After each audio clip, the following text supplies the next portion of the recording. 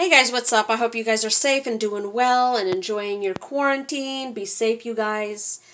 Um, I'm praying for all of us. Uh, but I wanted to do a quick review on this Bertolli traditional marinara sauce with Italian herbs and fresh garlic. You guys, not sponsored, no affiliation, but I just wanted to say that uh, I'm sure most of you know because this stuff is always selling, and I could if I'm lucky, I'll find one jar, you know, and sometimes I got to go jump to another Walmart or see if Publix has it. So, um, first of all, let me say, you guys, that nothing beats fresh.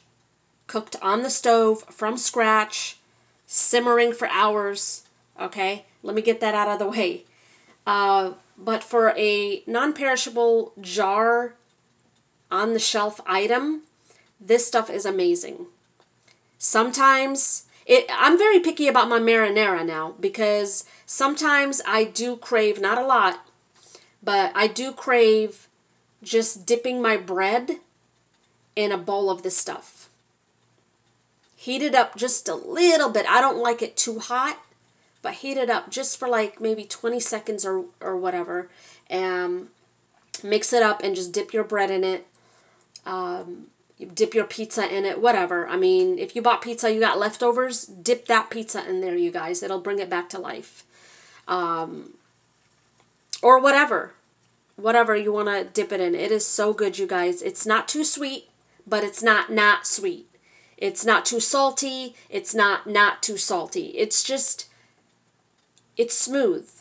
It's smooth and it's light. It's refreshing and it everything is just well balanced. The herbs, the spices, the garlic, the oil, the whatever ingredients that they put in there, everything's just has a perfect balance.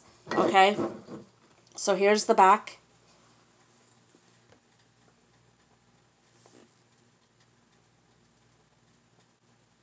If you want to pause that, I'm not going to get into that. I don't want the video to be long. But Bertolli I love you because this is this stuff is great. Okay, you should try that out if you want a good marinara. Um, it's not gonna be the best, like I said. You know, it's it's a shelf product. You know, it's not from scratch. You know, um, but it, it is close to me, in my opinion. It is close to the real thing. I mean, the real thing will always be a ten. Cooking it on your stove from scratch. But this I give it I give it a honestly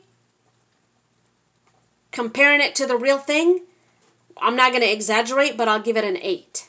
In my opinion, it's an it's a 20. But if we're comparing it to the real thing, I'm going to give it an 8 cuz it's it's it's up there, but it's not quite the real thing. If you know what I mean, if I'm making sense, but go get you a jar and you guys shake it real well, mix it real well, and enjoy it.